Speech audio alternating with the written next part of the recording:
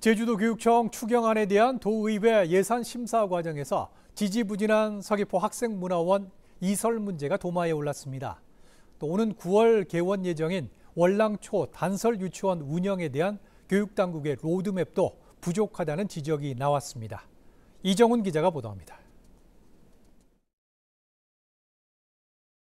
서귀포 학생문화원 이설 문제가 제주도교육청 추경안 예산 심사에서 도마 위에 올랐습니다. 학생문화원 이설 대체부지로 제주도가 제시한 삼매봉 토지 매입이 완료돼 사실상 두 기관 간의 협의가 마무리 단계지만 학생문화원 이설을 위한 후속 계획이 전무하다는 겁니다. 그러면서 서귀포 도심 속 쉼터 역할을 해왔던 학생문화원이 도로 개설로 제 기능을 하지 못하게 된 만큼 서둘러 이설 계획이 마련돼야 한다는 주장입니다.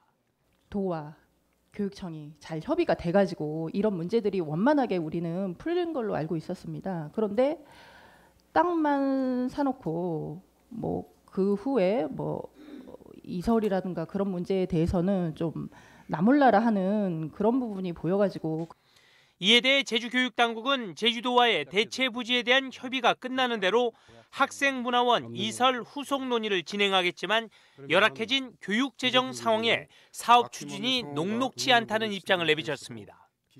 도내 첫 단설 유치원 개원 작업이 절차를 지키지 않고 주먹구구식으로 추진되고 있다는 지적도 나왔습니다. 단설 유치원 설립을 위한 조례도 마련되지 않은 상황에서 유치원 이름을 공모하거나 급하게 모듈러 교실 설치를 추진해 안전성 등의 문제가 발생할 수 있다는 겁니다. 학생들만 쓰는 게 아니고 특히 월랑초인 경우에는 자리실로 활용하기 때문에 교직원들이 활용할 수 있는 그런 공간이라서 공기 질, 유해환경 물질에 대한 검사는 6개월 전부터 차근차근히 진행돼야 된다고 봐요. 그런 측면에서는 추경에 모듈러 교실 설치하는 그런 예산을 편성하는 것은 옳지 않다고 봅니다. 그 준비하는 과정에도 조금 이제 저희가 이제 어쨌든 판단이 좀 느렸던 건지 어쨌든 9월 1일 개교에 맞추고자고 하다 보니까 저희가 여러 상황이 좀잘 좀, 네, 잘 알겠습니다. 이 밖에도 지속적인 결혼 발생 등 학교 급식 종사자들에 대한 김광수 교육감의 처우 개선 약속에도 불구하고 아직까지 이렇다 할 대책이 나오지 않고 있다며 이에 대한 대책 마련을 요구하기도 했습니다. KCTV 뉴스 이정훈입니다.